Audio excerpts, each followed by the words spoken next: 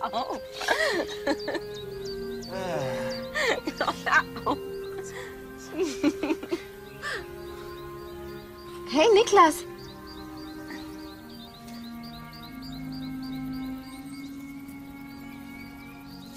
Nett habt ihr's hier. Bis eben schon, ja.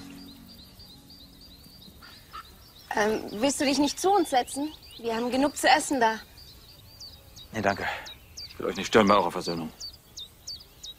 Ach, ach so, nein, da, wir, wir sind nur Freunde, mehr nicht. Klar. Freut mich für euch. Ja, ich muss dann noch mal weiter. Ja, verlauf dich nicht.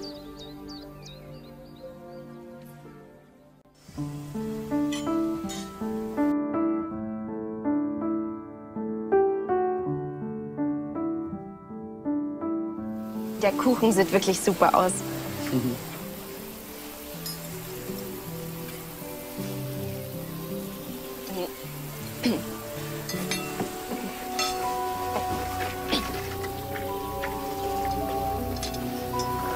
Ja, entschuldigt mich.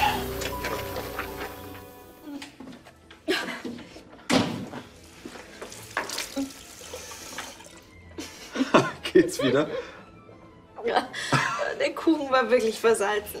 Also der Jonas kriegt was von mir zu hören. Deshalb geht normalerweise nie ein Gericht aus der Küche, ohne dass ich es mal probiert habe. Oh, jetzt sei ihm nicht böse. Vielleicht ist er ja verliebt. Und du sollst drunter leiden? Ich werde es schon überleben. Tapfer. Vater hat bestimmt gedacht, dass der Kuchen extra versalzen wäre.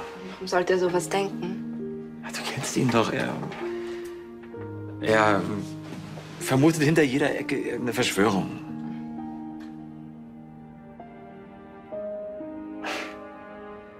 Ja, eigentlich, also eigentlich bin ich ganz froh, dass wir jetzt eine Art Waffenstillstand haben. Dein Plan geht auf. Eigentlich war es ja Charlotte. Also, wenn wir jetzt nicht über sein Geburtstagsgeschenk gesprochen hätten. Wer weiß, vielleicht hätte ich ja gar nicht auf Charlottes Vorschlag gehört.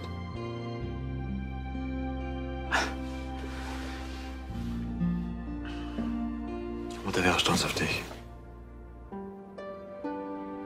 Aus dem rebellischen kleinen Fienchen ist eine sehr feinfühlige und schöne Frau geworden.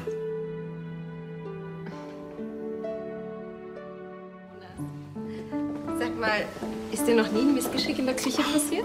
Ja, noch nicht.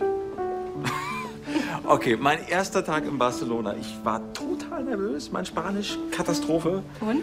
Ach, ich werde das nie vergessen. Diente de ajo, das heißt Knoblauchzehe, nicht Knolle. Und die Gäste, die mein Essen bekommen haben, äh, die sind heute noch sicher vor Vampiren. Ja. Ja, das war definitiv nur einer von mehreren kulinarischen Unfällen, die ich so hatte. Ich will alle hören. Das gefällt dir jetzt, oder was? Wenn ich als Trottel dastehe. Ah, hier bist du. Dich suche ich. In der Küche habe ich dich nicht gefunden. Trotzdem im Dienst, Fräulein Stahl. Ich war nur kurz im Gewächshaus. Stehen Sie bequem. Ich bin in extrem wichtiger Funktion unterwegs. Assistentin der Geschäftsführung. Ich bin auf Stand. Mhm. Ich bin mit der Mission Website-Aktualisierung beauftragt und soll ein Porträt unseres neuen Starkochs erstellen. Starkoch hier im Fürstenhof? Wie heißt der Mistkerl? Du wirst auf der neuen Website vorgestellt. Cool.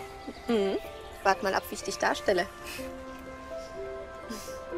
Also Fotos genehmige ich natürlich nur von meiner Schokoladenseite. Irgendwo müsste ich eine haben. Die hast du.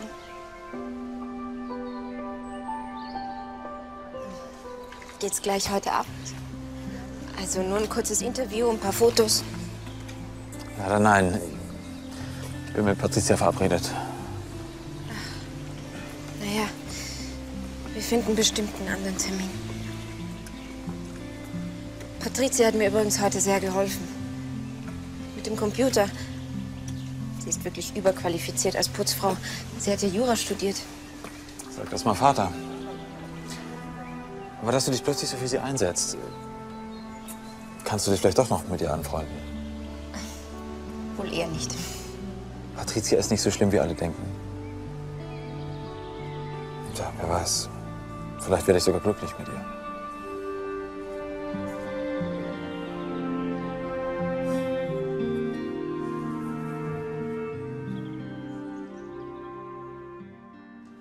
Niklas hat mir einen Antrag gemacht. Ist er nicht wunderschön? Ihr heiratet? Ja. Naja. Äh, Ist das nicht toll? Gratuliere.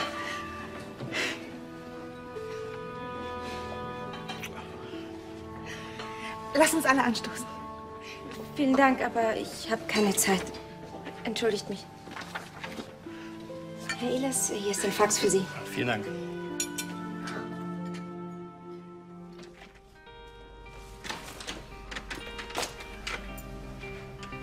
Hi. Hi. Na, bist du unter die Gärtner gegangen? Nee, ich brauch die für die Küche. Minze? Pfirsichminze. Äh, Passt hervorragend zu Fisch oder Geflügel.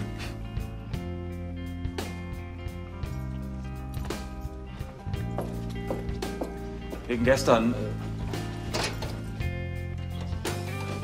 Ja, äh, tut mir leid, dass ich nicht mit euch feiern konnte, aber mir war das alles ein bisschen. Zu viel. Ja, für mich auch.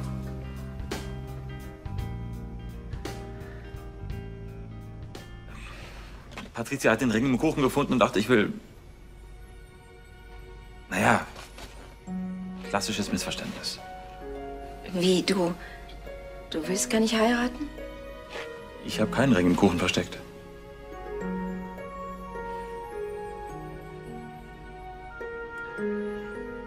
Wegen des Porträts. Ja. Komm doch nachher in der Küche vorbei, dann besprechen wir das.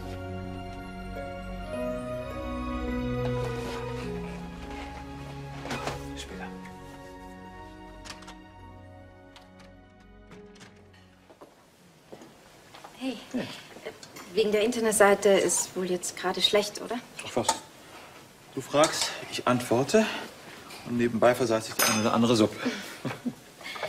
Okay, Lebenslauf hab ich, Preise und Auszeichnungen auch.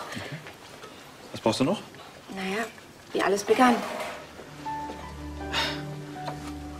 Mit dem Kinderkochherd, den du zu Weihnachten bekommen hast. Damit habe ich mein erstes Spiegelei gebraten. Erinnerst du dich? Weiter ging's dann mit Omas Rezepten. Oh, und als ich mir dann einen Kochkurs gewünscht habe, da hat Vater Panik gekriegt. Das war die Kurzfassung. Und der hat dich ins Internat geschickt. Boah, ich war so sauer.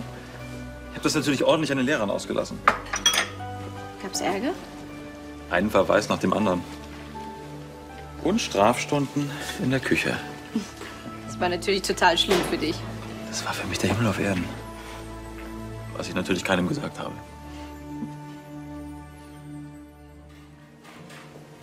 Ja, also anfangs äh, durfte ich natürlich nur Teller waschen. Aber der Koch war so faul, der war froh, dass ich kochen wollte. Und der Unterricht? Du, ich habe meistens nachmittags gearbeitet für das Abendessen. Tolle Pasta, Gulasch. Meine Kumpels, die fanden das super.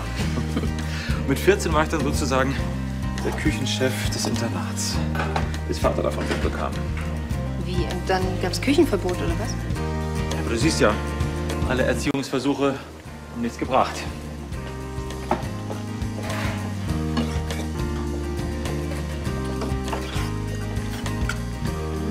Das riecht köstlich. Paella fürs Personal. Das ist eine katalanische Variante.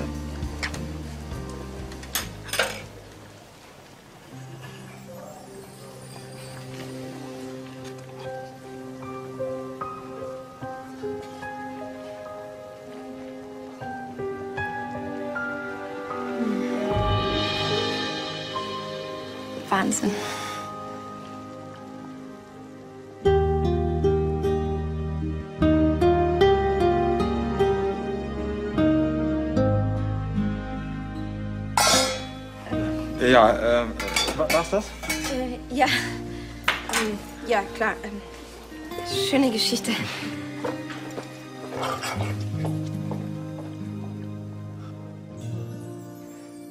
So, jetzt muss die Hasenschulter noch 10 Minuten im Ofen bleiben, dann ist sie perfekt.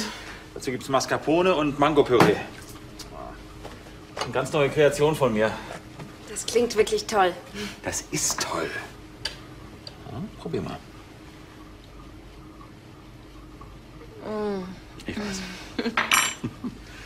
Dann warte mal, bis du meine Salmorejo-Soße dazu probiert hast. Das ist eine Explosion für die Geschmacksnerven. Ist alles okay? Ja, äh, alles bestens.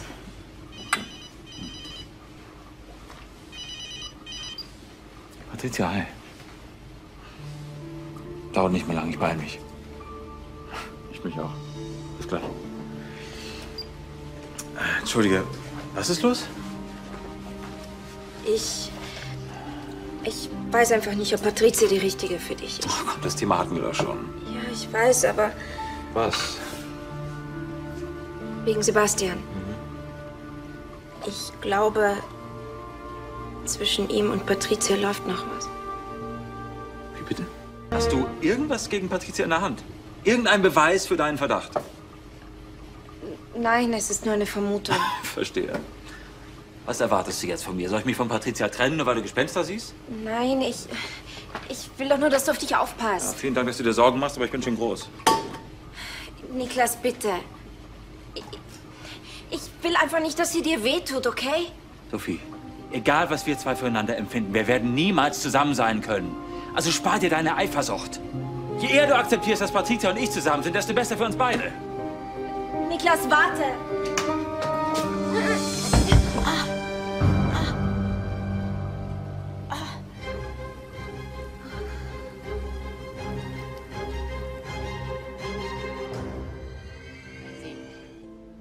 Hatten Sie da die Finger im Spiel? Entschuldigung, ich hatte gerade Ärger. Oh nein, mit Ihrem Vater. Nein, mit meiner Schwester. Hoppala.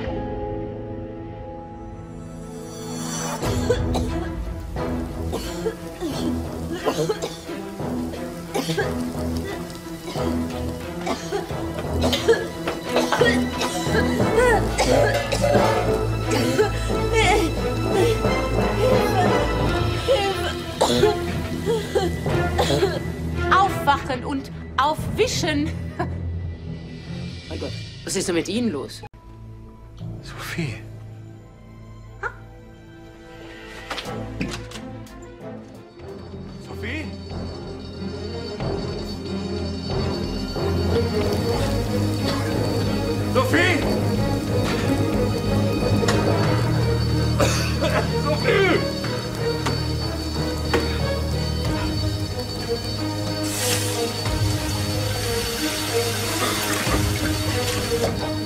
Sophie!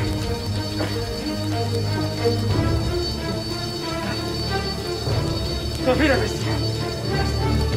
Sophie, wach auf! Wach auf! Hörst du mich? Bitte gehen Sie einfach nach draußen. Fehlalarm. Äh, die Feuerwehr ist jedenfalls unterwegs. Gottes Willen, Sophie. Die Sauerstoffflasche aus dem ersten Hilfekoffer. nur- Schnell! Ruf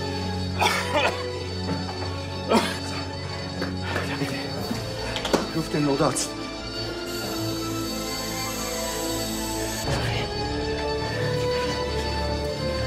Vermutlich eine Rauchvergiftung.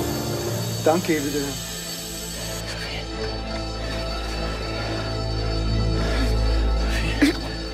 Sophie. Sophie. Nicht reden.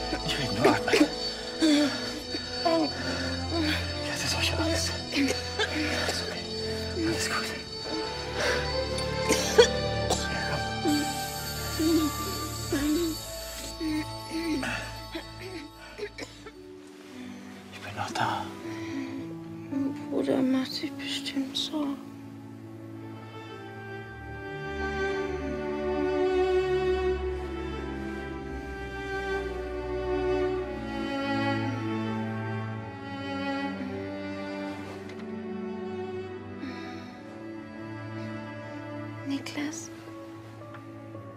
Na Gott sei Dank, du erkennst mich ja doch. Du hast gerade von deinem Bruder gesprochen, aber ich war da.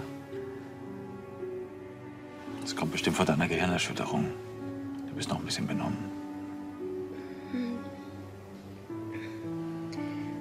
du hast mich gerettet, oder?